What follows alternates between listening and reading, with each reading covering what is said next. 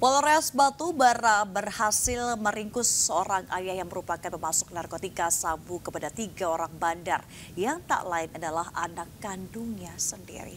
Tersangka mengaku sengaja memperkerjakan anak kandungnya sebagai bandar sabu karena tidak memiliki pekerjaan.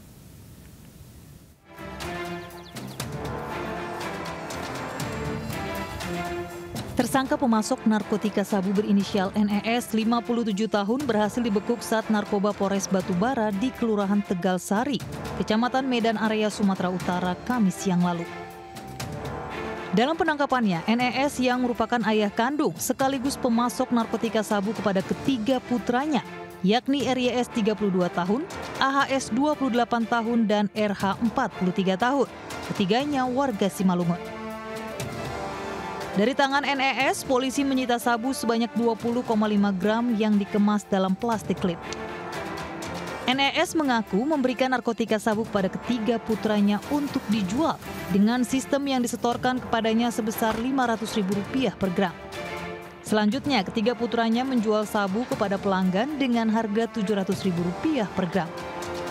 Dari penjualan tersebut, si ayah mendapat keuntungan Rp100.000 per gramnya Dirinya juga mengaku sengaja mempekerjakan ketiga putranya karena mereka pengangguran. Di samping itu, ketiga putranya juga pemakai narkotika sabu. Dilibatkan anak-anak kandung sendiri, Pak?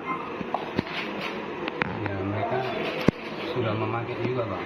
Oh, memakai juga. Dari modal apa bengkel? Tujuannya tuh apa nih tujuannya? Uangnya tuh apa itu tujuannya? Bengkel Bengkel, bengkel apa tuh? kereta. Oh, siapa yang montir kereta di sini? Jadi ternyata barang bukti yang mereka terima ini adalah dapat daripada bapaknya di Medan. Kemudian dikembangkan dan tertangkaplah bapaknya yang sebagai bandarnya, bandar narkoba itu. Ya. Diintai selama satu dua hari dan ditangkap di Medan, salah satu kota Medan, dan dilaksanakan penggerebekan dan penangkapan dan penggeledahan didapatkan sebanyak 20,5 gram.